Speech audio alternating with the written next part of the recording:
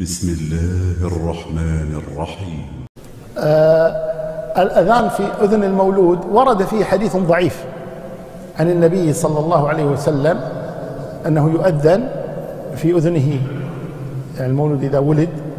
وجاء عن فاطمة رضي الله عنها أن النبي أذن أو أذنت في أذن الحسن رضي الله عنه. على كل حال لا يثبت شيء في هذا لا في الأذان ولا في الإقامة. الأذان في أذن المولود ولا الإقامة في أذن المولود. لكن بعض أهل العلم كالإمام ابن القيم رحمه الله تعالى حسن هذا الحديث. حسن هذا الحديث وهو الأذان بأذن المولود. أما الإقامة فلا تصح. الإقامة لا تصح. في الأذن اليسرى أو بالأذن اليمنى ما صح شيء في الإقامة. أما الأذان فجاء فيه حديث ضعيف حسنه بعض أهل العلم وجرى عليه عمل السلف.